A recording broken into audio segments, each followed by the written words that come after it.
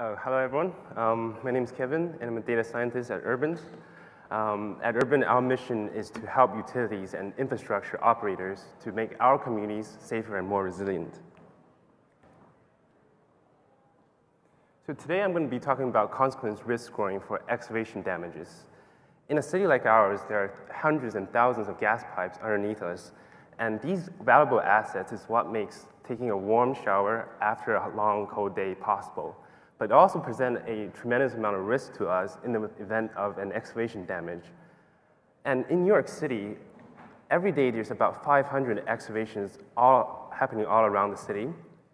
And some of these excavations range from a homeowner digging a small pool in their backyard to laying the foundations of the next uh, skyscraper. So the unfortunate reality is that every year, not only do excavation damages cost utilities millions and millions of dollars, but countless lives are lost because of this. So this proposes an immense challenge for city officials and gas utilities to be able to identify hotspots of vulnerable population and critical infrastructures to proactively prevent excavation damages. So the, oh, sorry, not to use this. Uh, the city that we're looking at today is a city that everyone's familiar with, a romantic tourist destination, Paris, the city of light. Now, this year, Paris has faced an unprecedented, unprecedented amount of excavation volume. By the end of the summer, there has been more than 8,000 excavation projects. The, having the immediate visibility into high-risk excavations is crucial. So we, when we think about consequence scoring, we think in terms of risk layers.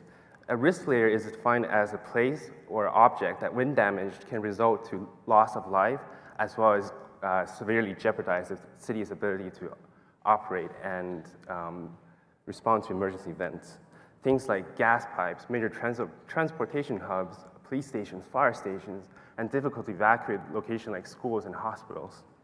So what we did was we took a sample of all the possible risk layers and we loaded them into our maps.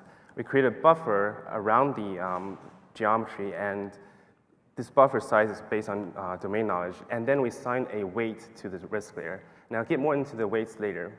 So here we loaded a, the high pressure mains, uh, the medium pressure mains, major transit hubs, um, top 10% of most densely populated census block groups, as well as the high points of interest. Now, any decision maker looking at these in their map is going to be overwhelmed by the tremendous amount of visual information. So how do we resolve this? I'm sure um, people in the data science world are familiar with the term dimensionality reduction. And so the purpose of this project is to reduce the many channels of information into a single layer source of truth and translate visual risk into measurable and quantifiable risks.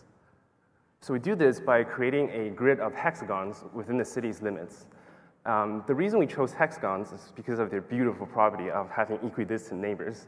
And we chose a side length of 100 meters, big enough so there's not too many polygons, and small enough so, to be manageable from a resource perspective. We then assign a risk score to each of the cells, and to do so, because we've buffered all our risk layers, now their geometries are polygons, we can spatially join every layer to our cells in the grid and capture the total area of the area of intersection. We then assign a score as a linear combination of the area of its intersection and the weights that we defined earlier. So I'm not sure if I can play this video.